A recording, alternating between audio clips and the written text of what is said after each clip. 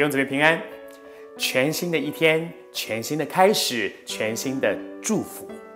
我一直好期待每一天清早起来的时候，第一个进到我们生命当中的是一个从神话语里面而来的祝福，因为我真的相信，出于神的话，每一句都带着能力。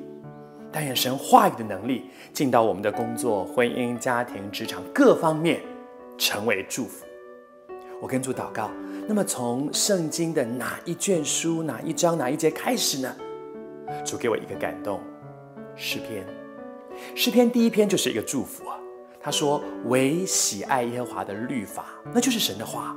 喜爱神的话，昼夜思想，这人变为有福。”哇，你看，这就是一个福气。但是进入这个祝福有一个前提，他前面讲说：“不从恶人的计谋。”不占罪人的道路，不做亵慢人的座位。这三句话到底在说什么呢？其实他在说一个不一样的生活态度，不一样的价值观，不一样的行为模式。成为一个基督徒，我可不可以很勇敢的跟别人不一样？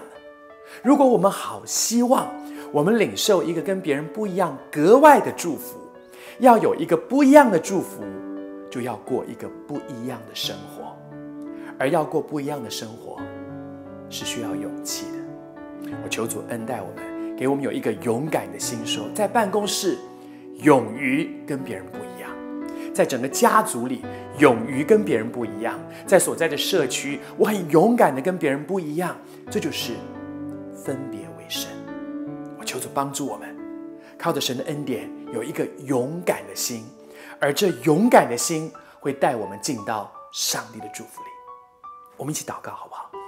我们来祷告说：“主啊，求你在这一天当中给我们一个从你而来勇敢的心，不是个性的，不是习惯的，是你给我们一个勇敢的心，勇敢的和别人不一样，勇敢的照着圣经的原则过日子。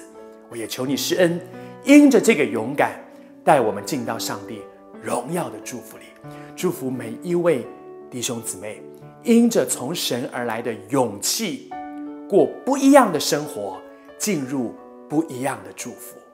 这是我们的祷告，奉主的名求，阿门。